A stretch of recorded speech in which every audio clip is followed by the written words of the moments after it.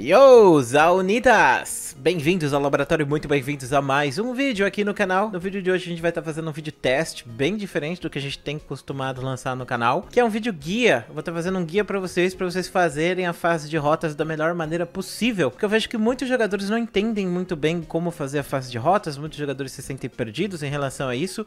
Eu acho que é um tema legal pra gente cobrir no canal, beleza? Eu tô jogando de Veigar aqui e a gente vai fazer uma análise dessa partida. Bom, se eu gostei também é muito importante, tá? O Vidoto que tá editando esse vídeo, então ajude com gostei aí, deixando o gostei pro Vidoto.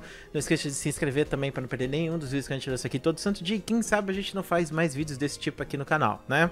Bom, você pode ver que eu tô jogando contra uma Catarina. A vantagem nesse matchup de começo de jogo é completamente do Veigar, porque ele tem alcance. O Veigar ele tem muito alcance. Então, o que você deve fazer? Você deve abusar muito da sua vantagem. Então, como o Veigar tem um alcance maior que a Catarina, eu vou ficar batendo nela à distância com ataque básico, eu não vou deixar ela farmar, eu vou ficar empurrando ela cada vez mais, né? Principalmente porque a Catarina não tem tanto poder de empurrão quanto o Veigar tem no começo da partida. Óbvio que vai chegar um ponto que a Catarina vai causar muito dano e só pegar uma faquinha ali já foi o suficiente para levar tudo, né? A Catarina veio para cima, tomou muito dano, ficou com dois bloquinhos de vida e eu fico pensando comigo mesmo, pô, eu posso matar essa Catarina agora. Só que vai rolar uma coisa muito triste, cara. Quem nunca passou por essa situação? Você pode matar o seu adversário e aí de repente aparece o jungler deles. E a ênfase que ela gankou muito cedo, porque ela tá no nível 2, geralmente os caçadores vêm no nível 3, né? Então ela fez o azul e o vermelho direto e veio me gankar. Eu tentei flashar ali, acabei cobrando o flash da Evelyn e acabei morrendo. Não tinha muita chance de sobrevida pro meu querido Veigar. Depois disso, eu volto pra rota começa a farmar, farmar, farmar, farmar, farmar, farmar, porque ênfase que muitas pessoas não sabem, mas o farm é a melhor forma que você tem de controle de jogo. Se você estiver farmando bem, se você estiver pegando bastante dinheiro nos tropas, não importa se o cara tá fidado na sua rota não, o que importa é isso. Então, eu volto e eu começo a fazer a mesma coisa que eu tava fazendo antes. O que que é? Ficar pressionando a Catarina. E aí, o que que aconteceu?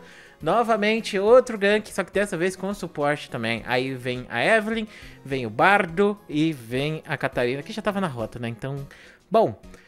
Eu tentei, né, bater neles e tentar pegar um abate, porque a expectativa aqui é zero de sobrevivência, né? Aí eu acabo morrendo de novo, olha só que maravilha.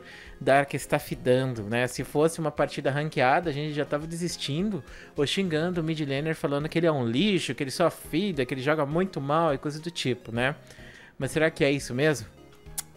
Eu vou mostrar umas coisas pra vocês, vocês vão ficar surpresos agora, se preparem. Cadê a Catarina? A Catarina aparecendo aqui na rota de novo. Pronto, a Catarina acabou de voltar pra rota, né? Vamos pausar aqui? Olha só, apertei Tab. Nesse momento de jogo, a Catarina tá com 1764 de ouro e eu tô com 1755 de ouro. Muitas pessoas vão pensar que porque eu morri duas vezes, eu tô jogando mal e eu perdi essa rota, ou que eu não sou um bom jogador, ou que essa partida já é GG porque a Catarina pegou vantagem. Mas quando você analisa o ouro dos dois jogadores, né? Que magia negra é essa? Que magia negra é essa que o Dark ele tá com mais tá tanto ouro quanto a Catarina que pegou assistência em um abate e por que, que ela não tá na vantagem se ela pegou esses ganks aí? Bom, essa é uma resposta muito simples e eu já dei ela para vocês nesse vídeo. As tropas elas são muito importantes e a Catarina ela ficou passeando pelo mapa no começo do jogo. Inclusive, eu vou botar aqui para vocês verem o que ela andou fazendo. A Catarina ela pegou vantagem no começo do jogo e eu imagino que ela tenha achado que ela pudesse pegar, sei lá, e passear pelo mapa, fazer ganks e coisas do tipo. E foi o que ela fez. Mas é justamente isso que faz você entregar a jogada. E é muito, esse é um erro muito grave que jogadores fazem, principalmente os jogadores que estão no prata, que estão no ouro, eles geralmente acham que é só uma kill que é o suficiente para eles nubalar, mas não é bem assim que funciona. Então, se você pegou uma pequena vantagem no começo do jogo, você tem que pegar e continuar mantendo essa vantagem em cima do seu adversário na rota, para você pegar vantagem sobre ele. Porque se você for para a rota inferior, você vai estar tá dando vantagem para a rota inferior, não para você, e você está entregando parte da vantagem que você teve. É mais ou menos que, digamos que eu ganhei 100, eu resolvo dividir 50 com o cara da rota inferior e 50 para mim, enquanto o cara da rota meio só para ficar farmando já ganhou esse ouro. E ela fez vários erros, né? Por exemplo, da recal ali, ela poderia ter feito outras coisas, né? Então, esse tempo que ela perdeu fazendo essas coisas foi justamente o tempo que o meu Veigarzinho conseguiu voltar para a partida. E, bom, No caso, eu gosto bastante de jogar com esses personagens que são 880. O Veigar é um perfeito campeão 880. Por quê?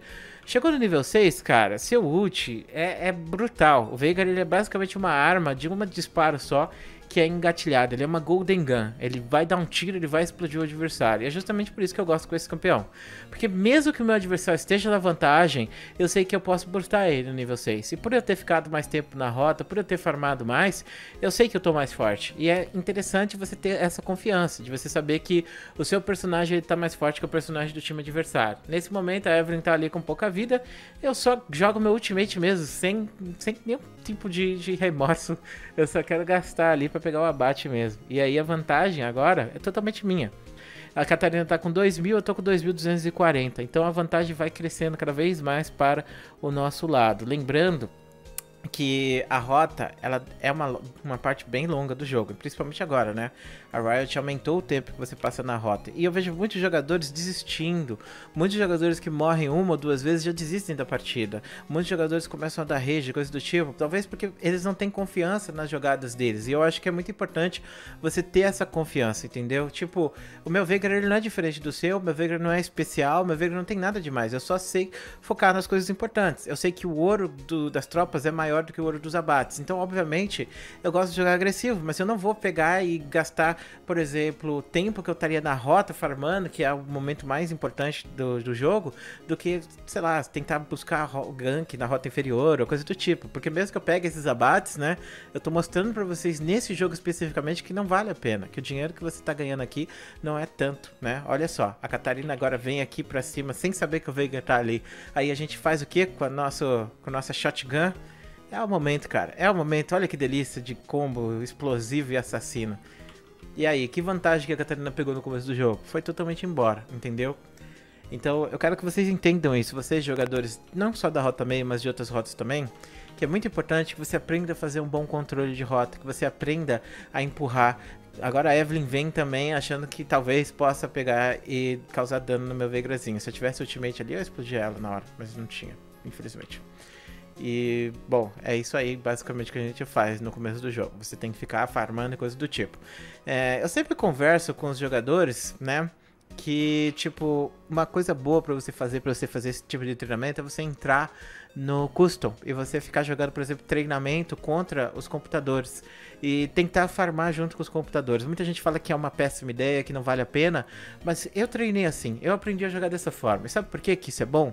Porque você é você contra a tropa, não é você contra o campeão. Se você não tá conseguindo farmar sozinho na rota, aí tem algum problema muito grande. E eu vejo muitas pessoas não prestando atenção nisso. Por exemplo, tem poucas pessoas que se dão ao trabalho de apertar né, o tab e tipo, de fato, ver se tá tendo vantagem do jogo, ver se, se tem alguma coisa errada, ver se tem algum campeão forte, ver a vantagem, o nível de vantagem que o adversário tá contra você, se ele tá muito na frente. Por exemplo, eu sempre tô olhando o tab, olhando o adversário, e eu vi nesse jogo, né, que a Catarina não tava formando bem, que bastava eu pegar e continuar mantendo na rota meio isso que era o suficiente para me ganhar. E foi justamente isso que eu fiz. Eu fiquei ali na rota meio farmando a maior parte do tempo até eu ficar forte o suficiente para poder bustar. Nesse momento a Catarina vem para cima de mim e eu sei que a Evelyn tá ali. Não porque a Evelyn tem uma sentinela ali que tá revelando ela, mas porque a Catarina ela se posicionou de uma maneira muito agressiva e isso não é normal. Ainda mais para alguém que pode ser burstado. Porque eu tô com Veigar, né? Nível 9, com basicamente double buff. Por que, que ela vai fazer isso? Então a gente não vai arriscar, né? Sempre se resguarda para você não dar recurso pro adversário, porque esse jogo é um exemplo disso. A Catarina ela ganhou recurso no começo do jogo e no final das contas acabou me dando recurso, não estando na rota tentando pressionar.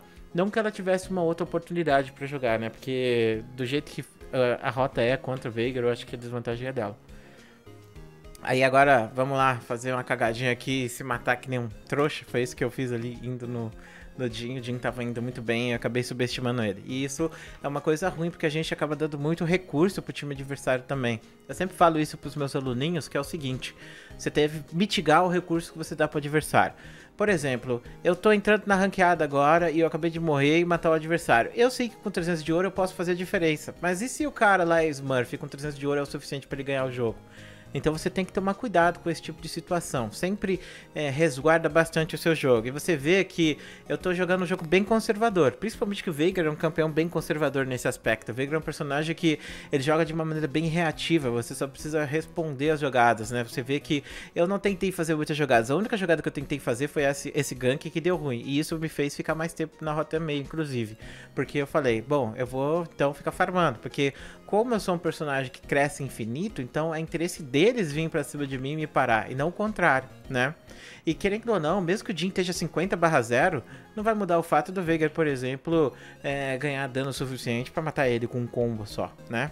E eu quero só apertar o tab aqui para você ver, olha a diferença de ouro entre a gente, ó. Ah, nesse momento, a Catarina tá com 4 mil e eu estou com 5 mil e pouco. E agora Aí nesse momento eu fiquei com uma raiva porque ela ultou e eu acabei não matando ela por causa desse ultimate aí. Mas enfim, é, a Jin tá 6 barra 0, tá com 6.900, tá bem na minha frente ouro, mas mesmo assim, né, eu sou Veigar e como eu falei pra vocês, o Veigar é uma arma engatilhada. Vai chegar um ponto que você simplesmente vai dar um ult e vai matar a galera. Esse é o ponto principal.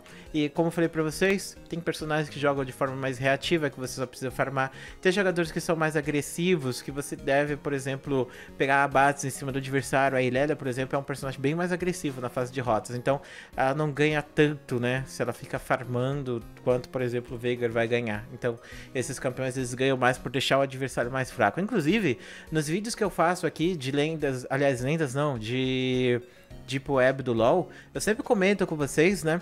Que tem uma coisa importante que é você vencer o jogo porque você deixou o adversário mais fraco. Não porque você ficou forte, mas é porque você fez o adversário ficar muito mais fraco do que você é uma forma também interessante de você ganhar uma partida. E tem vários personagens desse tipo, que são mais, maneiras mais ativas ainda, né? Do que a Irelia que tem que jogar agressivo, mas nesse caso você tem que basicamente dar deny, negar o jogo do adversário. Bom, enfim.